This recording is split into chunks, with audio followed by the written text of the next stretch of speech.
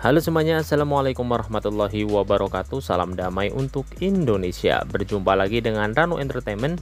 Di kesempatan kali ini kami akan memberikan informasi penting terkait pencairan bantuan PKH, BPNT, dan program Indonesia Pintar. Dan informasi penting kepada para penerima bantuan PKH bahwa SP2D PKH tahap 1 termin yang kelima sudah mulai dicairkan di berbagai daerah di Indonesia dan bagi teman-teman yang belum cair bantuan PKH-nya, semoga saja ikut di pencairan PKH tahap 1 termin yang kelima ini. Teman-teman bisa menghubungi para pendamping masing-masing apakah teman-teman masuk ke dalam data bayar untuk pencairan PKH tahap 1 termin yang kelima ini atau teman-teman bisa langsung saja mengecek di mesin ATM apabila teman-teman rumahnya dekat dengan mesin ATM.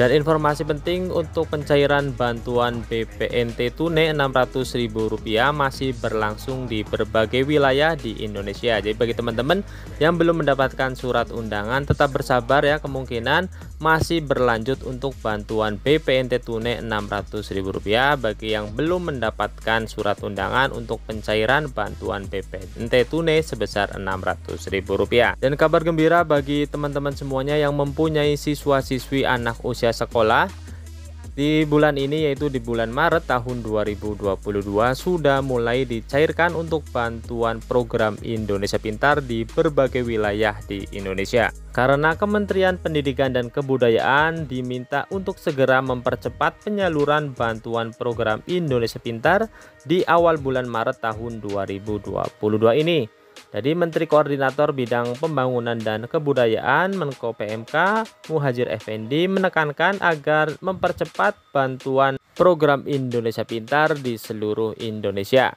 Dan di bulan ini diperkirakan sudah tersalurkan untuk siswa SD sebanyak 4,3 juta siswa di berbagai daerah. Kemudian untuk SMP sudah tersalurkan 2,3 juta siswa. Kemudian untuk SMA sudah tersalurkan 510.000 siswa dan untuk SMK sudah tersalurkan 622.000 siswa.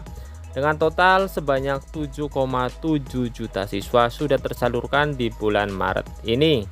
Silakan teman-teman dicek apakah sudah cair atau belum untuk bantuan program Indonesia Pintar karena di berbagai daerah sudah hampir merata ya untuk pencairan bantuan PIP ini. Dan berikut ini adalah besaran bantuan PIP di tahun 2022 di bulan Maret yaitu untuk siswa SD atau MI atau paket A mendapatkan bantuan sebesar Rp450.000 kemudian untuk siswa SMP MTS atau paket B mendapatkan bantuan Rp750.000 kemudian untuk SMA SMK MA atau paket C akan mendapatkan bantuan sebesar 1 juta rupiah.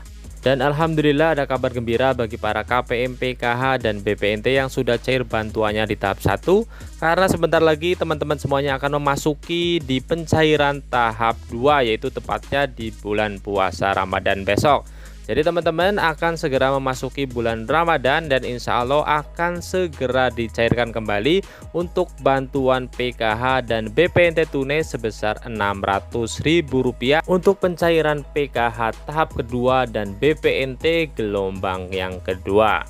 Dan kemungkinan besar akan dicairkan merata sebelum Idul Fitri. Jadi saat bulan puasa insya Allah semuanya sudah tersalurkan mengingat untuk membeli kebutuhan pokok menjelang Idul Fitri ya. Kita doakan saja semoga di bulan puasa besok sudah merata untuk pencairan bantuan PKH maupun BPNT tunai Rp600.000 di tahap yang kedua tahun 2022.